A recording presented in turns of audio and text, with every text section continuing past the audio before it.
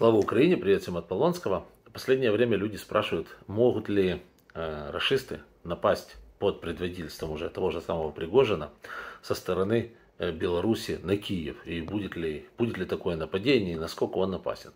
Не, ну в теории марсиане могут напасть, тут же однозначно, да, прилетят с Альфа-Центавры, хотя это будет уже не марсиане, а центавряне, и нападут. Вне всякого сомнения это может произойти.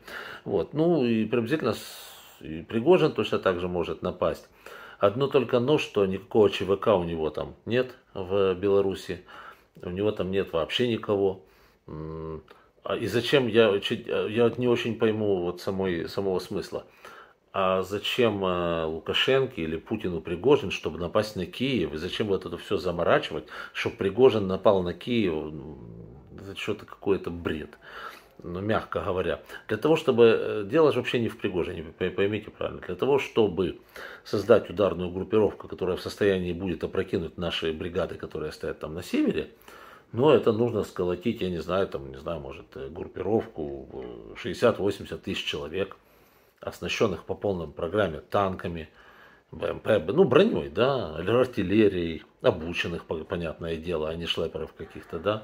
Вот, то есть, ну, это ж все остальное несерьезно будет, да, и послать их вперед, да, с техникой для разминирования, потому что там все раз, заминировано к чертовой матери, вот, и ломиться придется по узким дорогам, Наши войска, которые защищают это, эту, эту границу, очень хорошо подготовлены. А теперь давайте разберемся, есть там что-то подобное, вот такие группировки? Они не существуют в природе.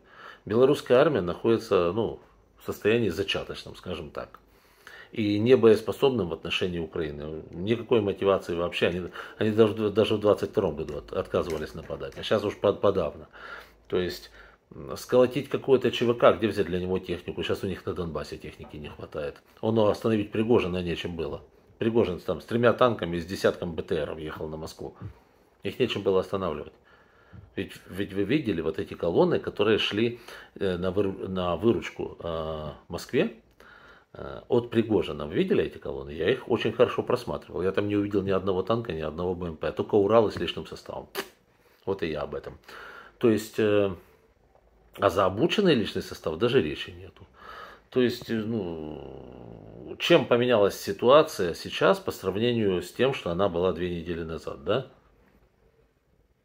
Тем, что в Беларусь привезли Пригожина, и что этот Пригожин возьмет автомат или шашку, или там, я не знаю, нагайку, или револьвер – парабеллум. парабеллум. Остап Бендер даст ему парабеллум, и вот с этим парабеллумом он будет идти в атаку прямо на Киев. Ну, вот какие-то такие я вижу шансы на то, что э, Пригожин пойдет э, в атаку. Все чушь и бред. Все буде Украина.